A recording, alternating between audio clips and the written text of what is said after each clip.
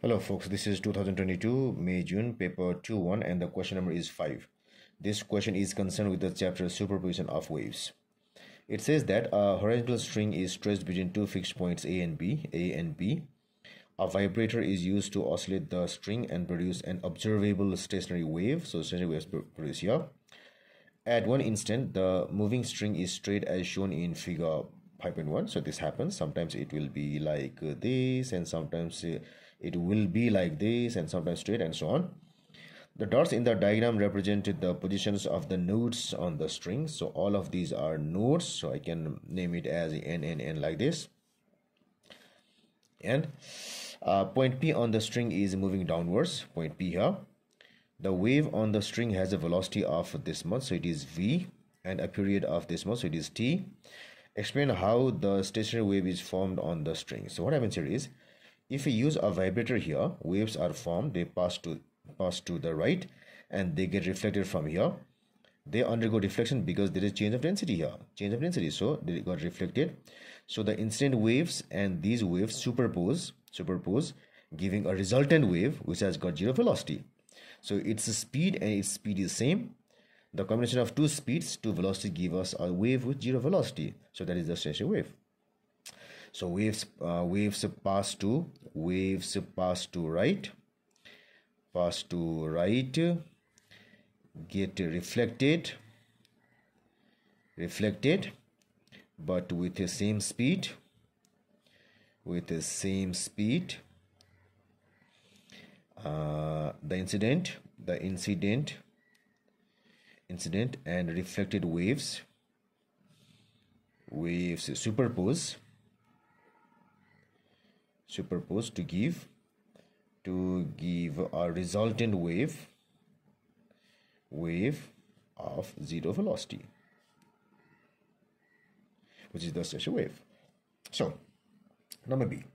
On figure 5.1 sketch a line to show a possible position of the string a quarter of a cycle later than the position shown in the diagram. So we have to show its position about a quarter of a cycle later. So what uh, it is being said here is right now p is moving downwards. So that means that means in one cycle it will be coming like this like this and like this in one cycle. So in half cycle it will be like it will be coming like this and like this. But in quarter cycle p will be here. So that's why our new wave will be after that time after quarter of cycle will be somewhat like this then this then this. Then this. Then this. So this is how the wave would look like.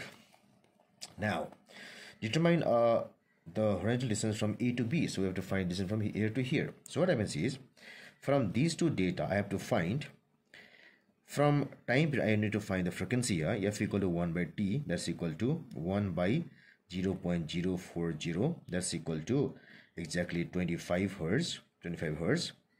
Then i have lambda is equal to velocity by frequency. That gives me v is a 35 and the frequency is a 25 so this is equal to equal to uh 1.4 meters. So lambda equal to 1.4 meters.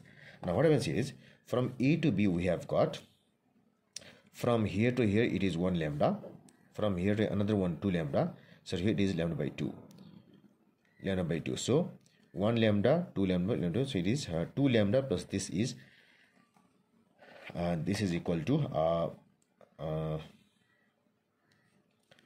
is 2.5 lambda. So 2 lambda uh, half lambda.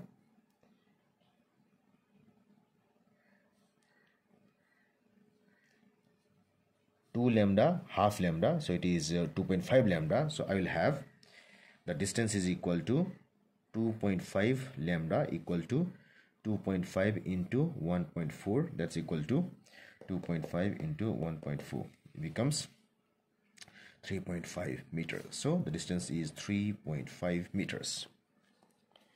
Now a particle a particle on the string has zero displacement at time t equal to 0 right now from time t equal to 0 to time t equal to 0 0.060 seconds, the particle moves through a total distance of 72 millimeter. calculate the amplitude. So we have to find in this time in this time it moves through a distance of this much. A particle moves through this, this, much. So we have to find the amplitude. Now let us see uh, let us see how many times this quantity is uh, related to the time period. So this t is equal to t equal to 0 0.060 seconds. The time period is equal to it was given here equal to 0 0.040 seconds. So this t by t is equal to 0 0.060 by 0 0.040 that's equal to 1.5 so that means in 1.5 time period in 1.5 time period it moves through this distance in 1.5 time period it moves through this distance. So now what is the meaning of 1.5 time period? So in 1.5 time period it will move like this. Let me show it here. So the particle is here. The, the particle is here here. The particle is here. So in one time period it moves like this. This this and this. In one time period it moves like this. In another 0.5 time period it will move like this. Like this so in one time period from here to here in another half it moves like this. So that means it moves through this distance this distance 1 2 3 4 5 6 it moves through this amplitude distance six times.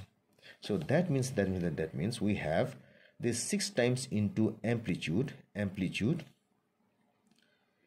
is equal to 72 millimeter 72 millimeter. So that means the amplitude should be equal to should be equal to 72 by 6 millimeter. And that becomes that becomes that becomes 12 millimeter. So that becomes 12 millimeter. So the amplitude is equal to simply 12 millimeter 12 millimeter.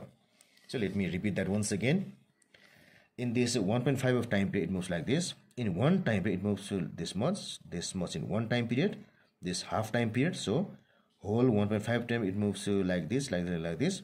So it moves through this half distance or this distance uh, six times. One two three four five six times. So 6 in amplitude equal to 72 and like this. So this is the answer to this question